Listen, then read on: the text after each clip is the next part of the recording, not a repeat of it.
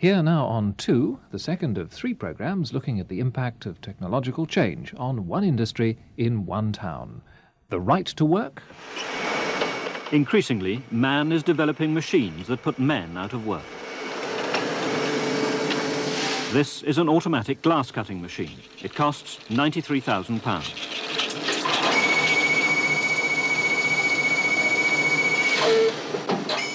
It cuts glass four or five times quicker than if it were cut by hand.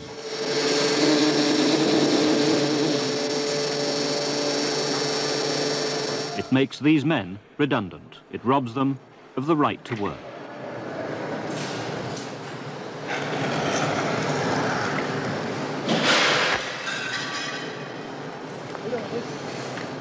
If you've worked in the glass industry for 40 years, the implications of this new technology take some understanding. Bill Bradburn. I've seen a lot of jobs go out, and it's deplorable. I don't blame any company trying to introduce technological change, but we're getting to that state now where if Pilkington's mentioning investment in the town, we're wondering then how many jobs are going to be lost. Pilkington Brothers employ 12,000 people in the town of St Helens in Lancashire, one man in every four. In many ways, the company is St Helens. Everything you can now see is owned by Pilkingtons. They've made glass here for 150 years and they're still expanding. They're building a new factory costing 70 million pounds. But it's a factory that sums up the dilemma of the new technology. This is the old sheet glass works where Bill Bradburn is union convener. 600 men make sheet glass here, but by 1981 the new factory, called UK5, should be doing the same job as the old works and doing it with only 400 men. Net loss then, 200 jobs over two years, jobs in Bill Bradburn's factory. The investment in UK5 bothers him. It's like the cure. curate's egg good in parts, bad in parts. The parts that are good are that it will consolidate the future of the glass industry in St Helens. The bad part is the threat to jobs or the job loss. I can see St Helens, if something isn't done, becoming a, a, a barren area. I'm not a Luddite. I'm neither are any of the members in my branch. We're responsible people. We know that technological change has to be, otherwise we would never have had a motor car, we would never have had a, well, an electric fire and anything else. That's progress, but what we want is to harness that technological change to create jobs and not to abolish jobs. Glassmaking came to St Helens because the raw materials, the sand, the limestone, the coal, were already in the ground. Over the years, it's brought prosperity and insulation even from the cold drafts of the Depression. But now, for the first time since the 1930s, the town is beginning to doubt the industry's ability to sustain full employment. Is what's best for the company necessarily what's best for the town?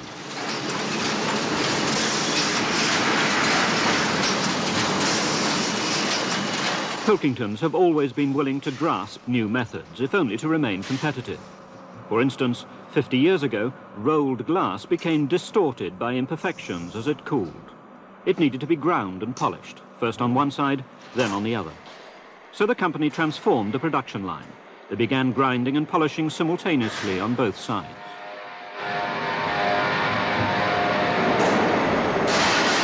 Later, they also perfected a method of drawing up molten glass rather like treacle. They called it sheet glass and Pilkington's sheet glass sold all over the world. At their peak, Pilkingtons were employing 17,000 men in St Helens. It was a time of plenty. By 1959, Pilkington Brothers were employing 15,000 people here in St Helens. And in that year, they achieved a breakthrough that was to establish them as world leaders.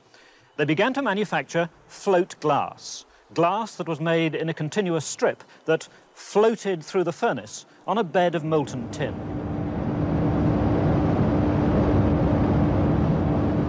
The whole world wanted float glass and still want it. The glass is the most perfect yet produced. It needs no grinding, no polishing. The machinery hurries on, relentlessly spilling out glass in a continuous flow 24 hours a day for five years without a major overhaul. The process is controlled by computer. So successful is float glass that foreign competitors pay Pilkingtons license fees to manufacture it abroad. The company made £90 million pre-tax profits last year. £38 million of that came from the license fees on float glass. But even in success stories, there are snags. The latest float glass tank produces 60 square metres of glass per man per hour. That's the way it's measured in the industry. Yet, there's not one man in sight. Unlike even 30 years ago, when men worked 50, 60, 70 hours a week.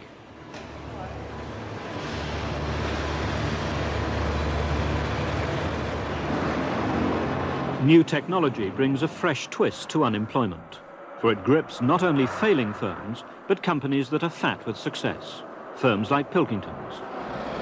Mick Lyons is a labourer looking for a job. Today, he visits Bill Bradburn's office to renew his union card so that he may take work at Pilkington's, which will last 13 weeks.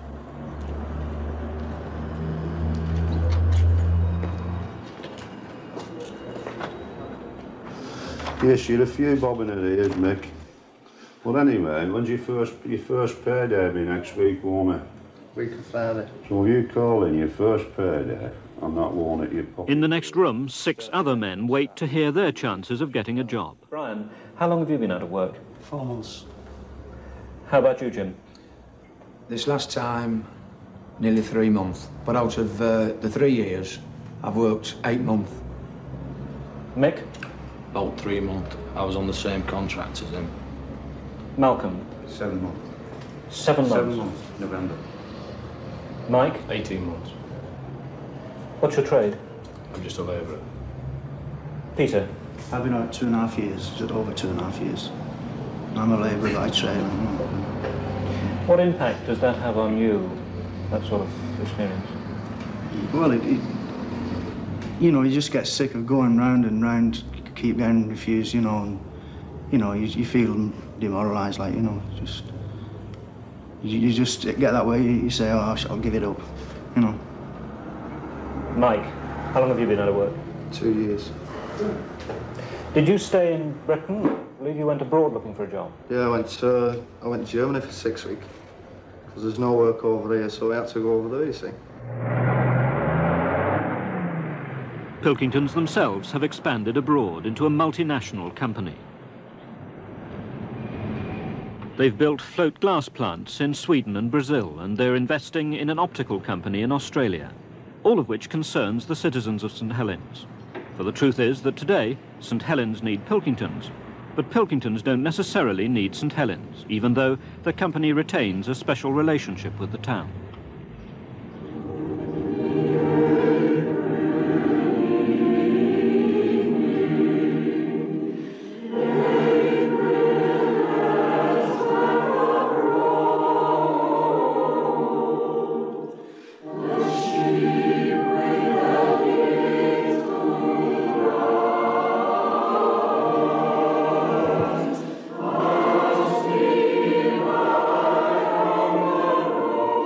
Pilkington's Choral Society. They sing of age-old values, tried and trusted, when the world seemed a simpler place.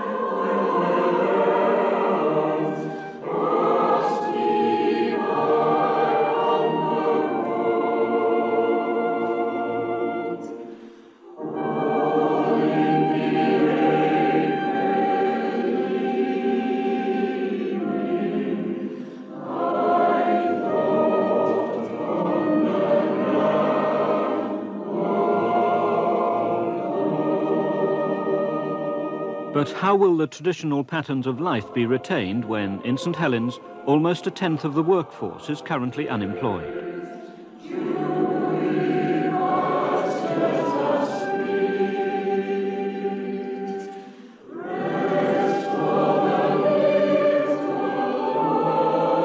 How can they survive when unemployment in Merseyside as a whole is 12%, more than twice as high as the national average?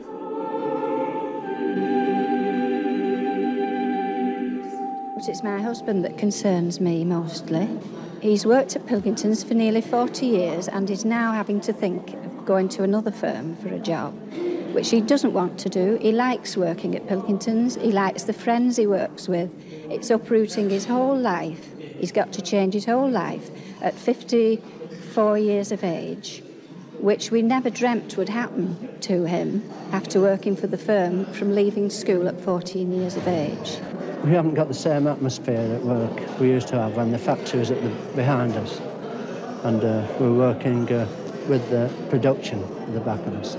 All the men are uh, they're uh, undecided what to do.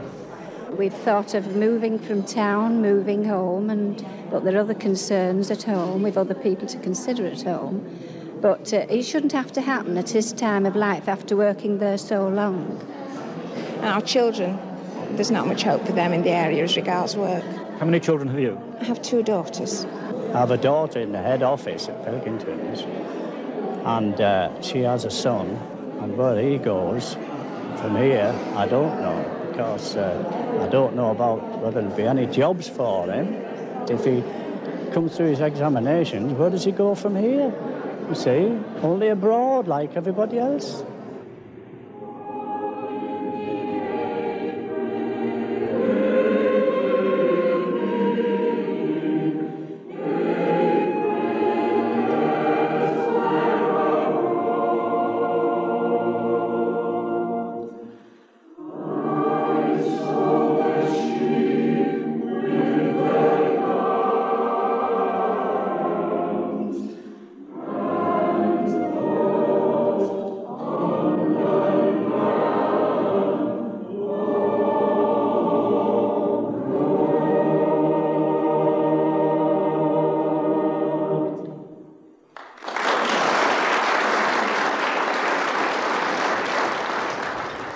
Torquay, May 1979. The annual conference of the biggest union in the glass industry, the General and Municipal Workers. In Pilkington's too, we face the challenge of new technology. And it is possible, on the rough assessments we've already made, that one in four jobs could be affected within a very short space of time, with all the serious consequences that that could mean for our members and their families. In ICI, David Warburton, the union's national industrial officer, spells out the union attitudes.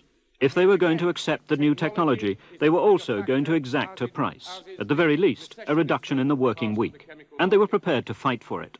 It's very easy to put our hand, head in the sands on issues like change and technology and so on. But the problem won't go away, and we shouldn't resist logical change. And if I may paraphrase something Hugh Gaitskell once said, in the interests of our members, their families, and the nation, we should be prepared to fight and fight and fight again to defend the interests of those we serve. I commend my report to Congress.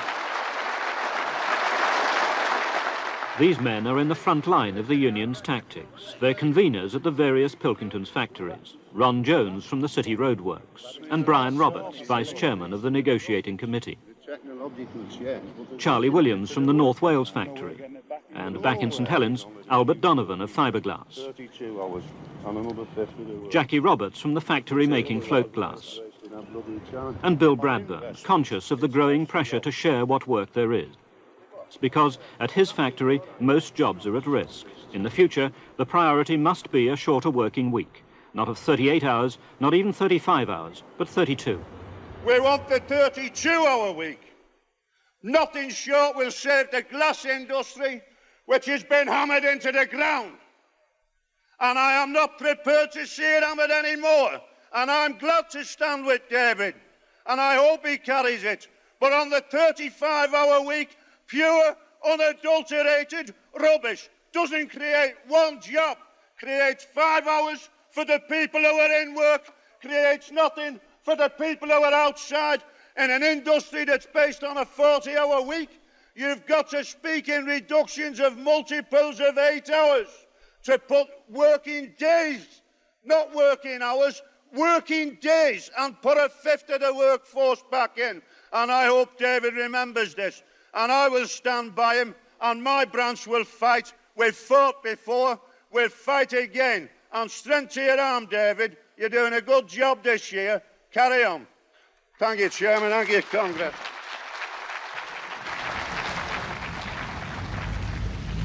The thinking behind the union's national strategy was this.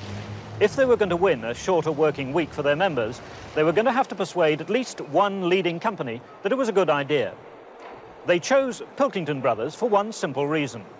They believe that Pilkingtons, with pre-tax profits of 90 million pounds, can afford a shorter working week. And further, that they might be persuaded to afford it. The industrialist attitude is very different. To pay men even the same wages for working fewer hours simply doesn't make economic sense. It would increase the cost of each product and make it more difficult to sell, particularly abroad. It would make Britain even less competitive. So, this is a test case. If Pilkingtons were to concede, the implications for the rest of British industry are immense. Anyway, the overriding debate at Congress was the debate on unemployment and technological change in Britain today.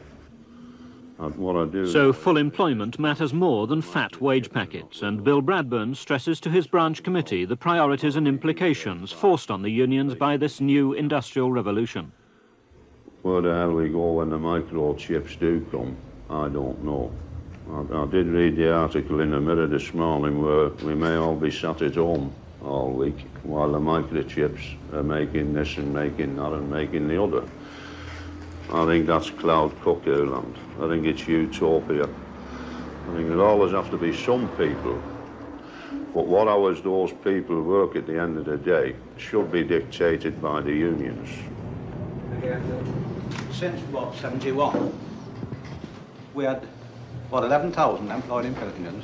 Yeah, in that In St area. Helens, you know. Yeah. What is it down to now? Around about six. I'd you know, say. you could argue that microchips has been with us since 71. What have we been doing since then? I know we've been arguing. What's everybody else doing? It's, Yeah, well, what it wants, I think, is a government to set up some kind of a committee to look into the 32-hour week. I agree with you that 35-hour week's a waste of time. When we spoke to Pilkingtons on the shorter working week, they replied that, well, they didn't particularly want to be the leaders in, in this field. And so have others, other industries have said that. And in the strategy of persuasion, Bradburn enlists the aid of an improbable ally. And I'll still go back to Kissinger's statement. And Kissinger is a capitalist. You're all aware of him.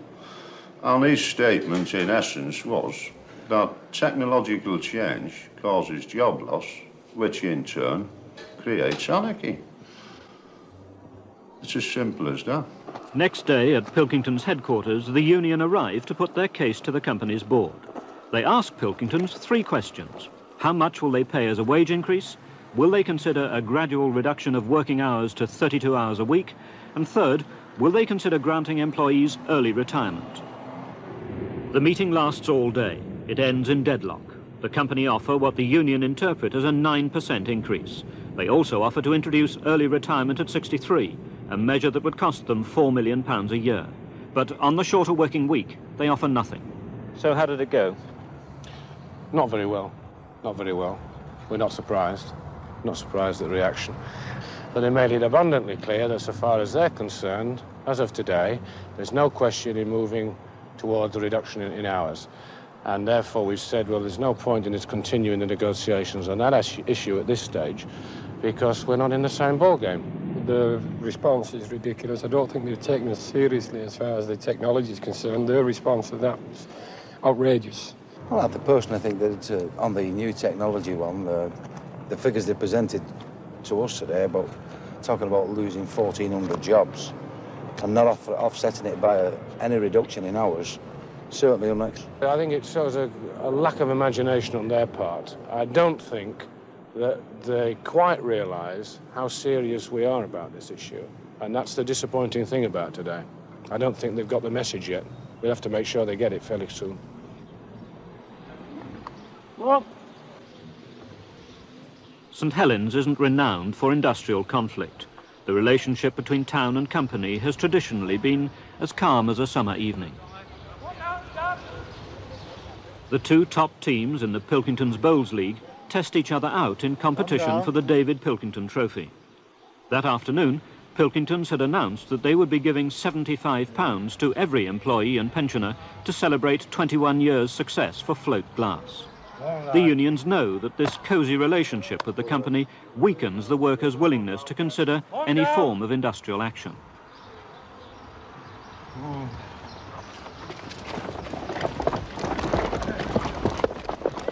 So while some may forecast industrial strife, more remember the company in their good works and dismiss or don't comprehend the complex threats to jobs in the years ahead.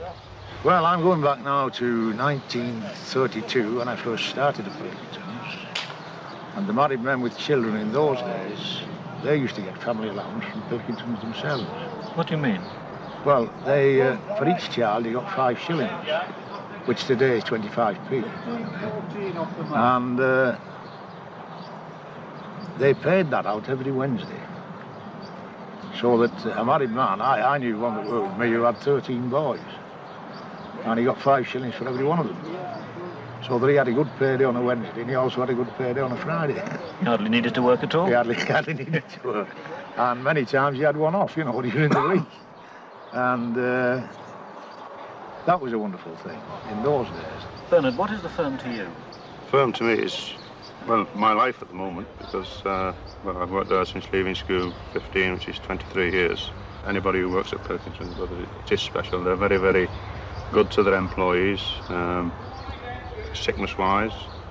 Um, we, I have a colleague of mine in the bowls team who had an accident last year, cut the tendons in his hand, was off work for, I don't know, probably about eight, eight months. And uh, Pilkington's looked after him excellently. Harry, you will have heard the firm described as paternalistic. It can sometimes be used as a word of criticism. Yes. What do you think? Well, I don't, I don't think they would use that word with Pilkingtons if he was uh, in that shape. Um, I don't know anyone who can hold anything against Pilkingtons at all. And uh, when you go into work and there's thousands of people working in the same factory, um, you're quite sure that they're all of the same mind, that they're working for a very, very good firm.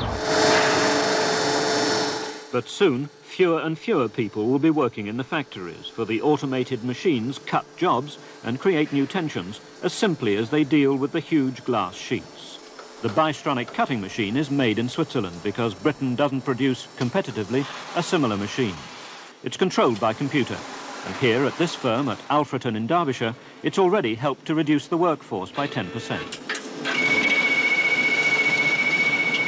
Reg Duggan was a glass cutter before the Bystronic arrived. Now he controls it, or rather he feeds in the information which helps it make the maximum use of each sheet of glass. Well, fantastic machine really this is. It's, um, it's saved a lot of actual manual work. It's, um, it's a lot faster than manual work. How long did you actually cut glass by hand? Six years. Did you ever think that you'd be doing this, No, sta- no. standing here while the machine did it for you? No way. I don't think anybody else did either. It's just a great machine, that's all. We've just got to watch it and watch it run dry. So. When you say, though, it's a great machine, forgive me saying so, it's easy for you to welcome it because you've got a job. Well, I suppose so, yeah. Yeah. And you know that uh, other people who are, are glass cutters and have been for many years in other parts and in other factories have in fact uh, faced the prospect of redundancy. Yeah, but fortunately enough at this factory nobody has, you know. So uh, I don't know about other factories. The introduction of new technology is so sensitive an issue that Pilkingtons wouldn't allow us to film any of their production lines. Nor would they discuss it.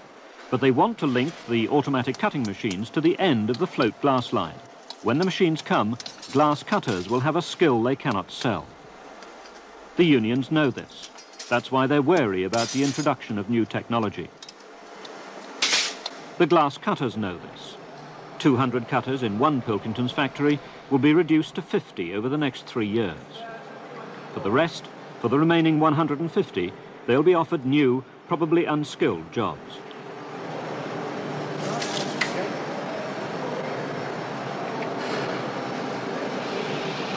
The men who've traditionally been the aristocrats of glassmaking must now be satisfied with something more humble.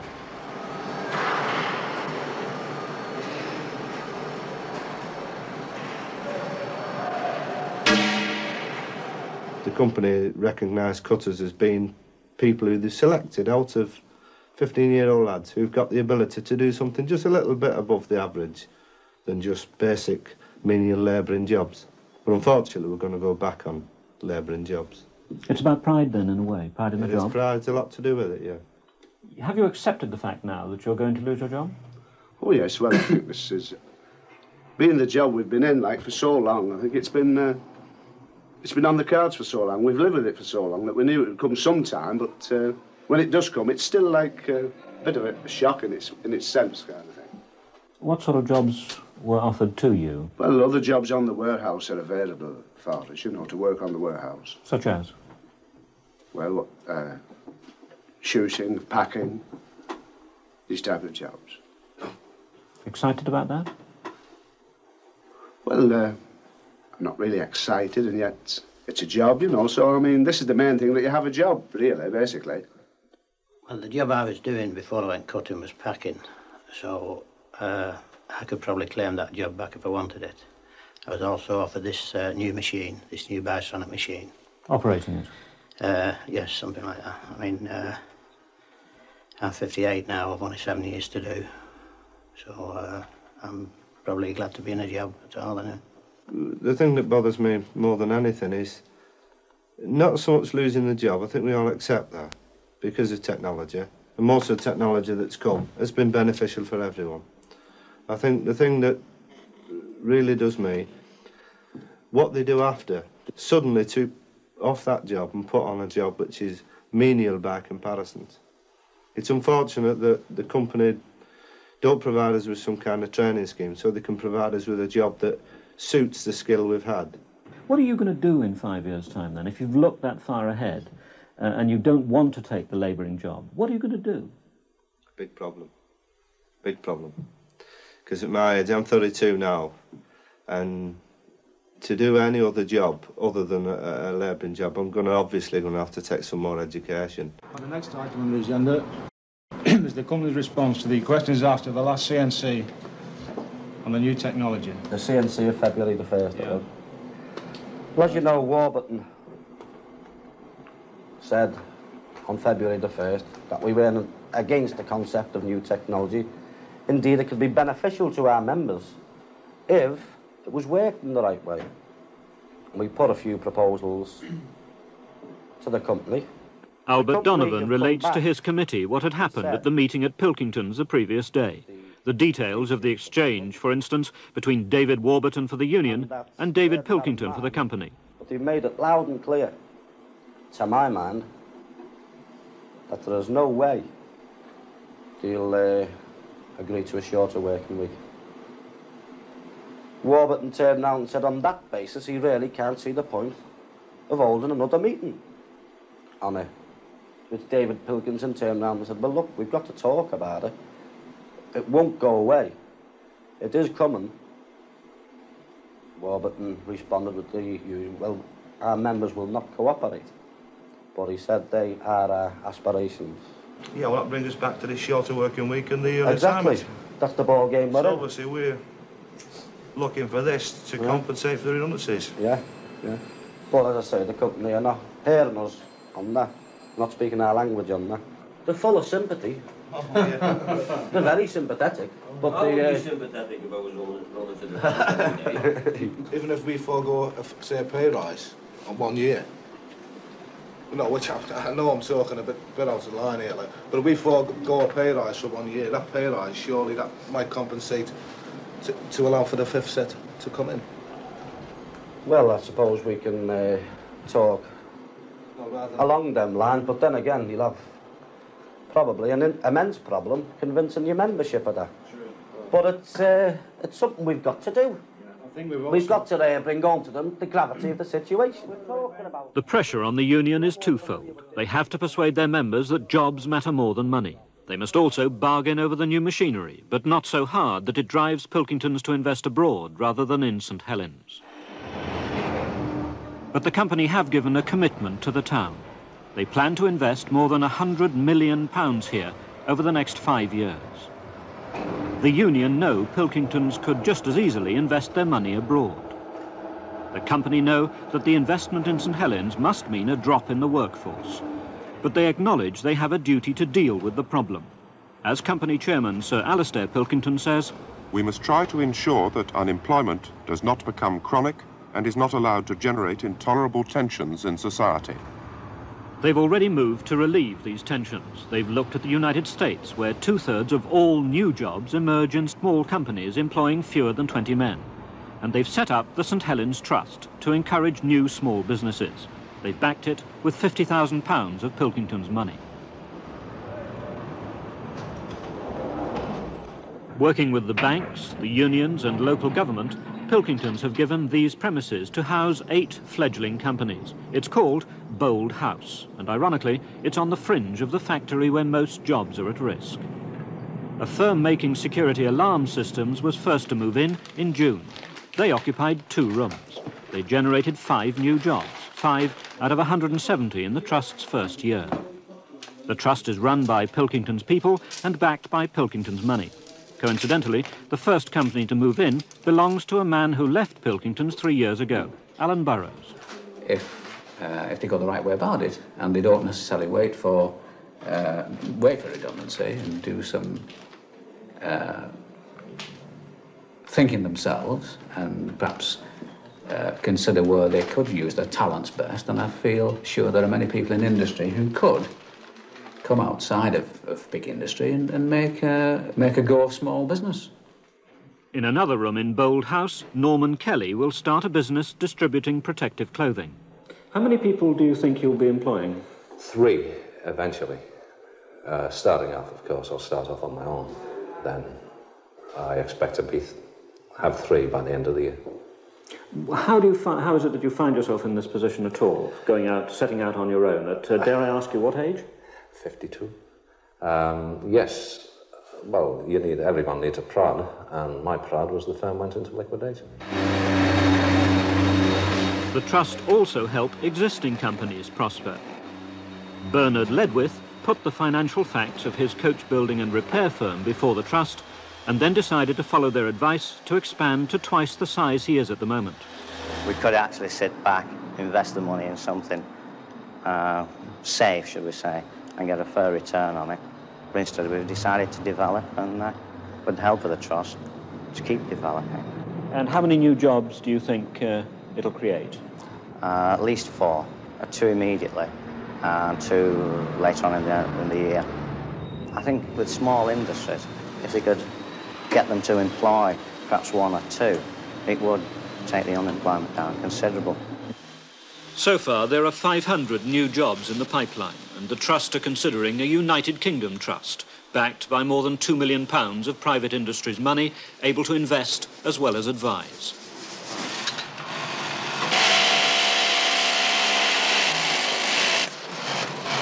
For the conventional answer to unemployment has always been to invest, to entice new industries. But the problem of the 80s will be male unemployment, and so far, new investment in St Helens has created jobs mainly for women.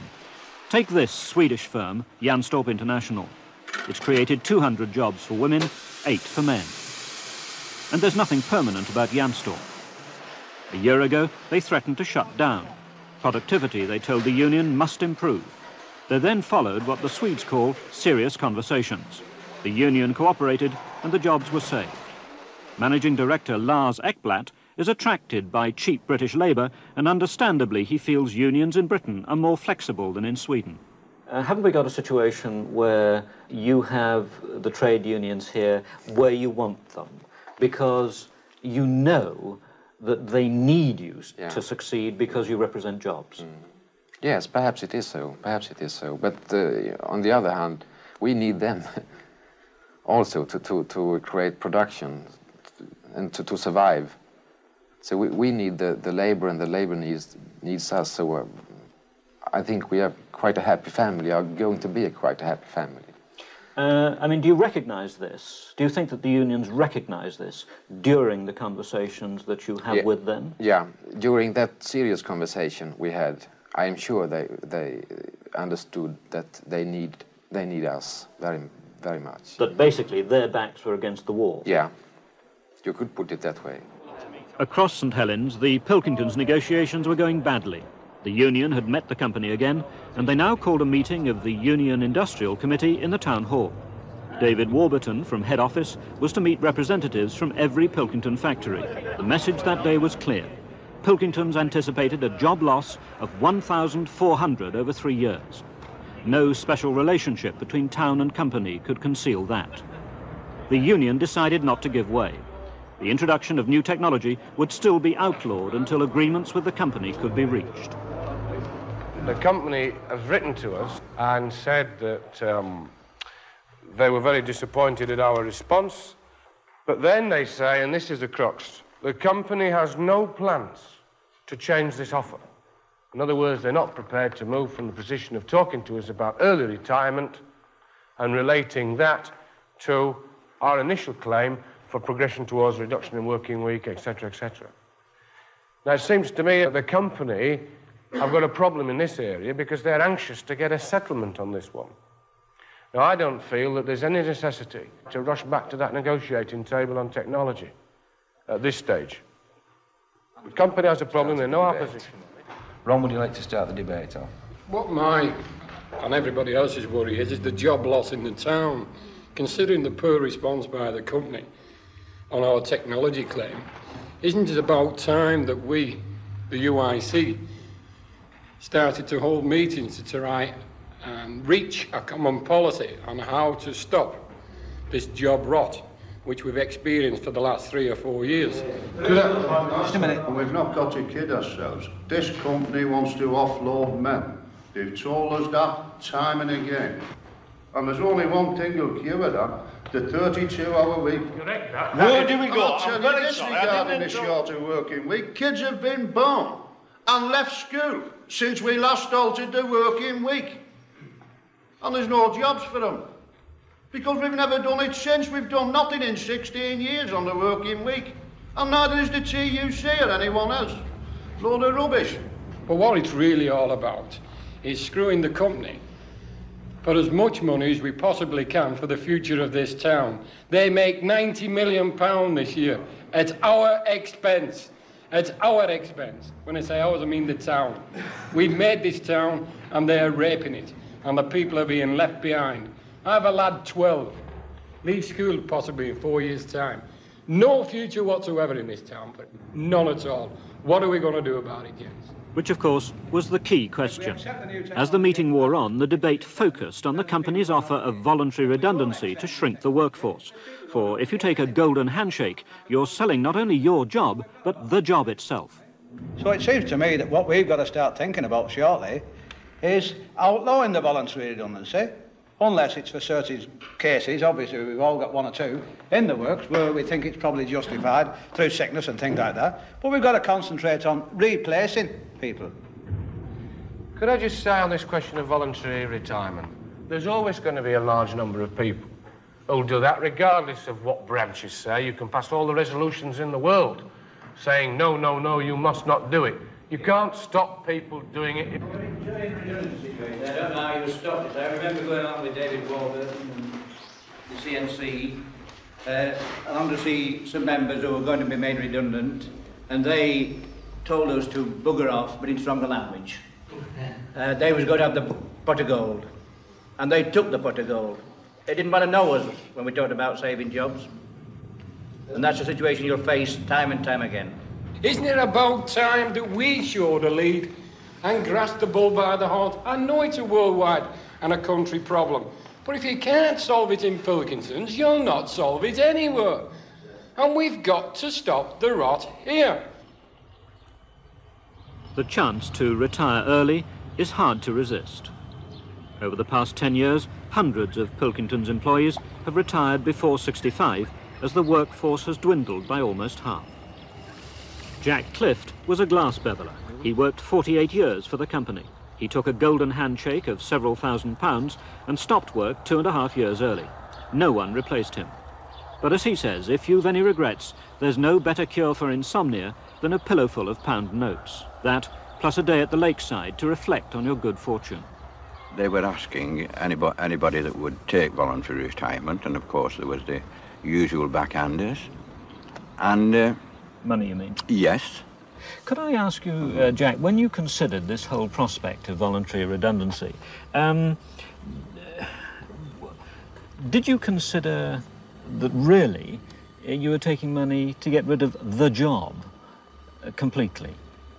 Because after you left it, now nobody's doing the job.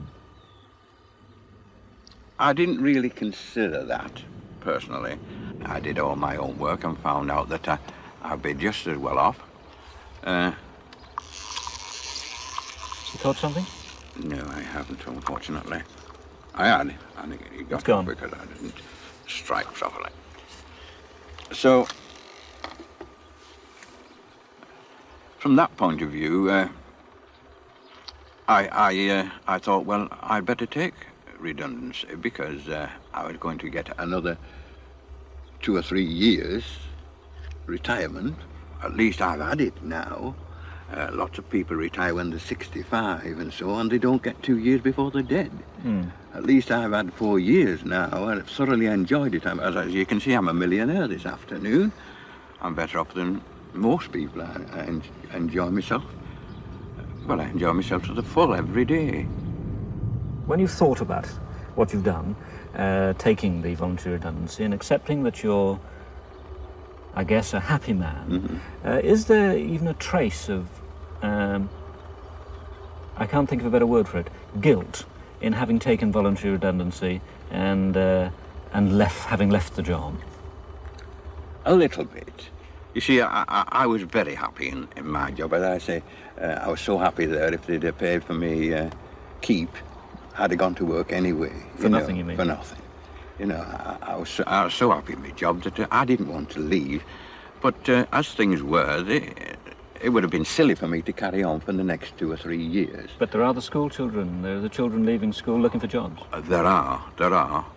But, uh, well, uh, things will have to be reorganised. We reorganise uh, the work, we've got to reorganise the hours. I mean to say, uh, when I first started work, well, it was a 12-hour day.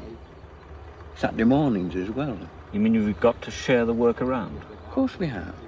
Each and everybody's got to share the work around. Otherwise, half of, half of us is going to be working to keep the other half. Who's going to keep me? Eh? As an old age pensioner when I'm 96, somebody's got to put some money in the kitty, haven't they? These boys will grow into a world where factory work will be scarcer than their fathers ever knew, where unemployment could reach six million by 1990. They'll face new tensions as new technology changes the nature of a working life. Industry created this town. Now, the advances in industry are undermining the town's confidence in itself. Understandably, the men leading the fight for the unions use the experiences of their own childhood as a yardstick by which to judge the job crisis of the 1980s. They readily remember the unity of the 30s, even though work was scarce and so was money. Bill Bradburn. People were happier then. They were more together. They didn't have a television, they didn't have a radio, and I can remember listening to one cup final in a street on a Cat's Whisker radio. And about 200 of us trying to find out what was going on. I remember listening to the Braddock fight. Equally the same, and people didn't have the money, but they were together, they helped one another out more. A lot of poverty.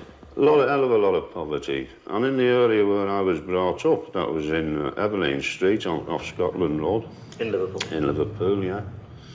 And you'd maybe get out of, uh, I don't know, maybe 10,000 dockers in those days. Maybe a couple of hundred would get a day's work, according to what work was available. And the chief just, I want you, I don't want you, I don't want you, and all the rest of you come back tomorrow. Did you go down to watch that? Yeah, I watched. I How used to go down because me at that time I'd be about in eight or nine that area, and we used to go down because when they were coming back, the lunches that they didn't need for that day, they used to give them the kids. And that's how the times were. Made an impression on you. An everlasting impression, yes. An everlasting impression. It'd be there till I die. St Helens Town Hall, July 26th. The pay talks with the company have broken down, so the union conveners meet and decide to order a series of one-day strikes over wages. Does that mean that the fight over new technology has been forgotten? My members are not tech. They know the fundamental job issue and they know the value of jobs. In my branch especially, we've battled on against redundancies for years now. And it's a very live issue. And I don't think this would detract, or this action would detract from any future actions that the members may wish to take in pursuit of a shorter working week. Is today's decision a shot across the bows of the company? Yes. It's a declaration of intent as far as I'm concerned, not only on wage, but our determination to fight job losses in Tellings. Ron Jones' motivation couldn't be more personal. His son, Alan, 12 years old, leaves school in four years' time. Jones is as pessimistic about the town's future as he's passionate about the need to share what work there is. As he says, they've just built an extension to the town's employment exchange. Well, approximately 2,000 school leavers have left school in the last couple of weeks. And I'm led to believe there are jobs for 200. So all the school leavers have got to look forward to in the next three, four years, and indefinitely as far as I'm concerned, is a worsening of the situation. I believe that the working class, or the John Doe on the street, should benefit from technology and not the chosen few. Benefit in what way? By sharing in the wealth of technology. So as cash and giving them security. And people are shouting for a 32 hour week. That's only beginning. The TUC uh, admit that uh, even a 35 hour week uh, would increase labour costs by what? Uh, 6 or 7%. Now, you're arguing for a 32 hour week. The manufacturers say that this will make Britain even less competitive. Well, it depends what they mean by less competitive. How competitive is a company who makes 90 million pounds profit? How much of that goes into securing the future of the people that created the wealth? That's the problem. What do they mean by com competitive? What do they want big profits like that for? Is it needed? Where should it go? So you're saying cut the profits and remain competitive? Yeah. Uh, have you got to produce 90 million pounds profit to be competitive? How many of generations of uh, your family have worked for Pilkingtons? Three. Do you think they're a good firm? Well, it depends what you mean by a good firm. Uh, as employers go, they're quite good, yes. Do you mean that you don't think that any employer really could be classified well, as, as a good firm? How can a worker equate the situation that an employer employs a man just for profit motive? Not for him as an individual. He wants to make a profit out of him. Do you believe that? Oh, I'm convinced of it, yes. What makes you so sure? Well, technology is proving it. What do you mean? Well, they're making bigger and bigger profits with fewer men. Have you, as a union official, do you think, done enough to make your members aware of this new industrial revolution? Nowhere near enough. I think I've failed. Tried my best, but I don't think it's been good enough. Where have you failed? By not giving automation and job loss situation the attention that it's required. The priority? Yeah. We are the only site which recruits production trainees, school leavers, on a permanent basis. It's only five a year, but nevertheless, it's five a year more than anybody else. And we believe... Ron Jones' factory, City Road, is also the only Pilkington works where the men have voluntarily limited overtime for the past three years. At their branch meeting, the shop floor confirms the policy, a maximum of eight hours per man per week. But Ron Jones believes the union has been ineffective. Other factories haven't supported their stand. Yeah, the trade unions and you people have been guilty, uh, guilty of lack of response to the situation. There's no doubt about it. The unions have done very little. I'm proud to say we've done our little bit. We can, we can do what we can in 180 branch, but we cannot force or tell other branches what to do. But we're all, we're all, we're all members of the same union. Yes, and we've been trying for three years to get them to think our way, and they won't. So, all right, then there's something wrong with the union. Yeah, There's somewhat wrong with the branches that are in St Helens. No, there's something must be wrong with the union if they're not all cooperating, surely. You've got a plant next door that won't do it. If we're not cooperating as a union, we're of no value at all. What I want from you now is, from this branch meeting, is support of the shop stewards we've got to win, or I've got to win, or those people who think the same way as I do have got to win. We owe it to the youth of this town. It's more important than overtime and extra cash. St Helens Rugby League side toil in the August sunshine to prepare for the new season. They reached the semi-final of the Challenge Cup last season, and they can do better this year.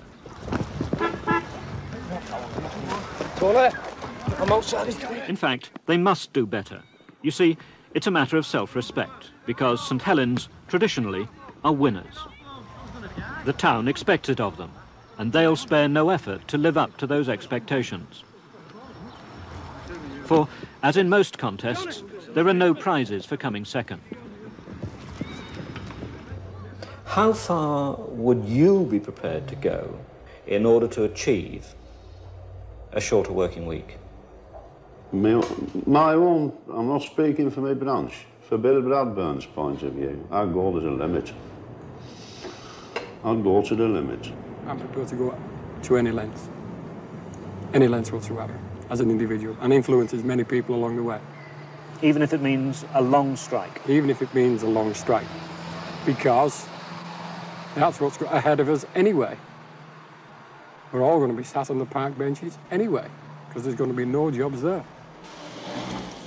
The first one-day strike at Pilkington's was on August the 7th. All the factories stopped work. The unions were determined to take industrial action till the company offered more money. The company were equally adamant, no more cash. The confrontation lasted three weeks. Then the company gave way. They increased their cash offer to 15%.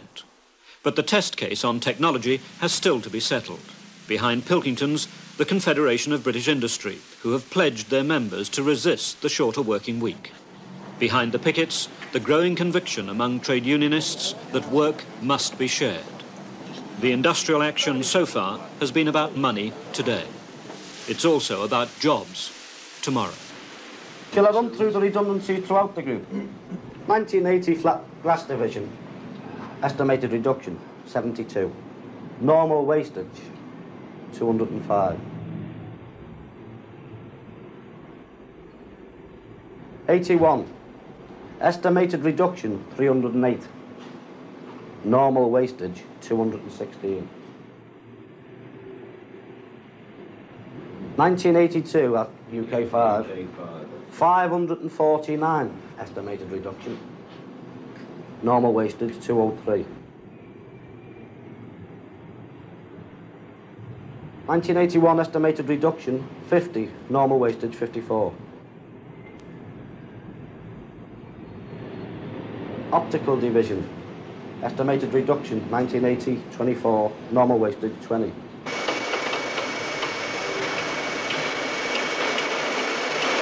Nineteen eighty one estimated reduction twenty eight, normal wastage twenty. Total Estimated reduction 1980 group wide 1191. Normal wastage 401.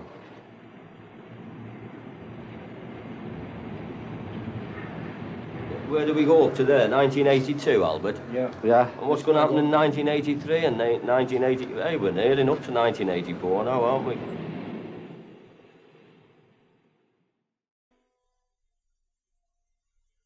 Well, tomorrow, in the third of this series of programmes, The Right to Work, a report from Blackpool on the TUC's response to the rapidly changing face of British industry. Well, that's tomorrow at 10.20 on BBC Two.